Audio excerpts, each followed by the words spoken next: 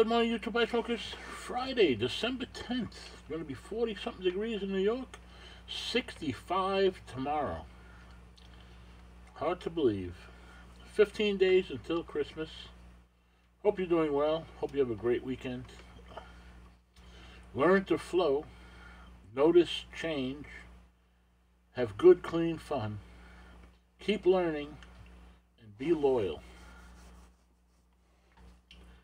Be well. Stay safe.